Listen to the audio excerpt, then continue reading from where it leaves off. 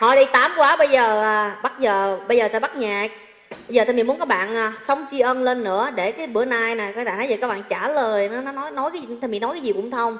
Rồi nó nói nghe xong sao mà ngày của nó ngày của nó ra đường người ta cười rồi nhiều không? Đừng đừng có bao giờ mà mà dựa vào cái nụ cười của người khác để làm cái hạnh phúc của mình nha.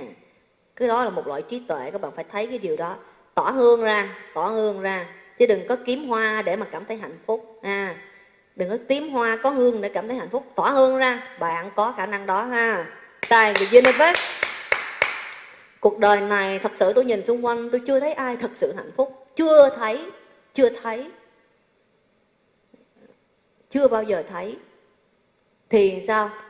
Tôi thấy họ có lúc hạnh phúc có lúc không hạnh phúc. Tôi nhìn thấy họ có những cái nỗi buồn miên man gì đó mà những cái vô minh những cái gì đó sập sàm sập sàm gì đó mà nó cũng thích, thích ôm thiểu dữ cái đó hay thiệt à, thì sao? Mà khi mình thấy được xung quanh người ta không có không có ai hoàn toàn vui hết thì sao? Mình vui trước đi. Mình tỏa hương ra tỏa ra tỏa ra. Muốn cái gì tỏa cái đó. Bạn có khả năng không? Mốt thì mình sẽ đưa tần số rung động của thầy mình lên bất cứ tầng nào thì mình muốn mấy đo được luôn ở nhà toàn được chưa nào với